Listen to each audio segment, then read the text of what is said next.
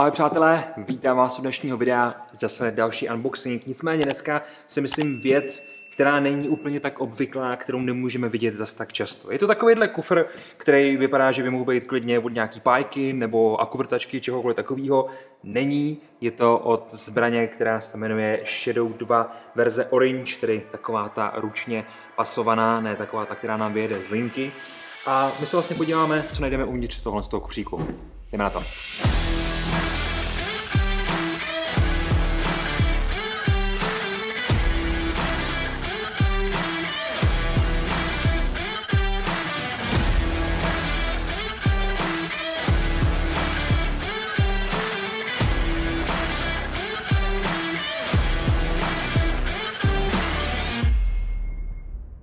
Tyhle ty videa jsem se rozhodl natáčet bez obličeje, jelikož je to teďka takový za mě trošku lepší a aspoň vidíte pěkně blízko, co se uvnitř těna z těch kufříků nachází.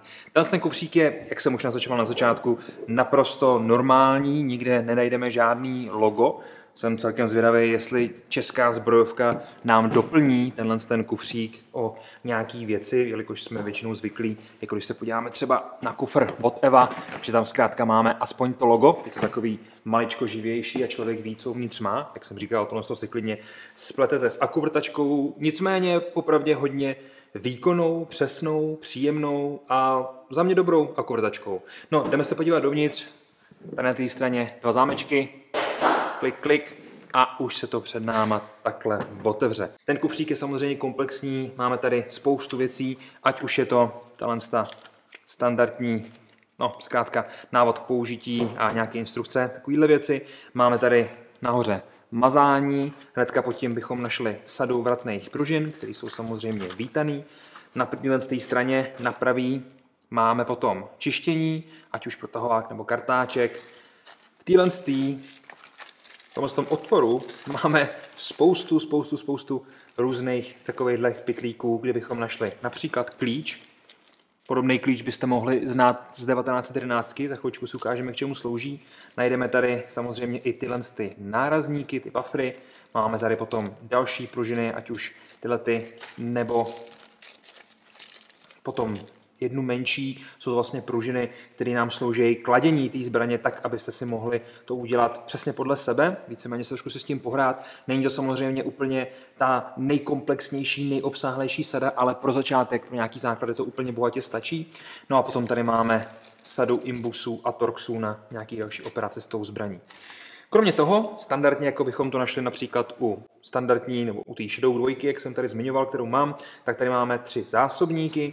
Ty zásobníky mají pěkný modrý podavač, díky tomu vždycky uvidíte, že jste skončili, že už tam nemáte co do té zbraně sázet a ten spodek mají udělaný z duralu a je pěkně oranžový, což se mi líbí, vypadá to pěkně, Samozřejmě můžete si tyhle ty spotky koupit, stejně tak jako výměný střenky, to už je potom na vás, ale líbí se mi, že ten orange je udělaný zkrátka komplexně, úplně takhle. No a zlatým hřebem večera, fanfáry, tleská je poslední řada, je potom tahle Shadow 2 verze orange.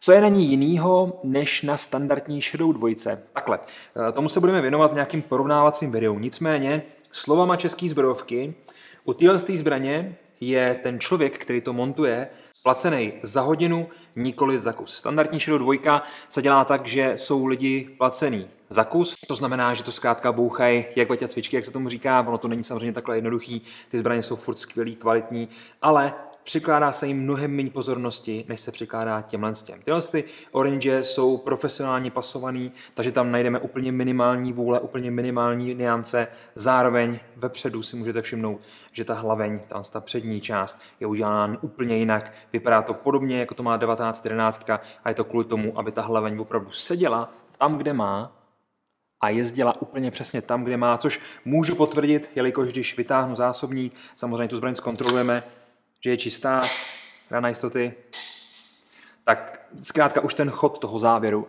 je úplně jiný. Opravdu je to, je opravdu cítit, že těch vůlí je tam naprostý minimum. To spasování je tady perfektní a pokud budete mít možnost si z toho orange zastřílet Doporučuju vám to, jelikož ta spouště jiná, celý se to chová jinak a opravdu ta střelba z toho je mnohem pohodlnější, efektivnější a za mě samozřejmě i příjemnější, než je tomu u klasického Shadowa. No, to si necháme potom na tom porovnávacím videu a na nějakém představení produktu. Tohle to měl být unboxing, trošku jsem se rozvášnil, jelikož tahle edice mě opravdu potěšila. Nicméně více se samozřejmě potom dozvíte už konkrétně u toho představení produktu jako takového. No, přátelé, pro dnešek se s vámi loučím, děkuji moc za vaši pozornost, mějte se krásně a u dalšího videa se na vás budu těšit. Takže čau, čau.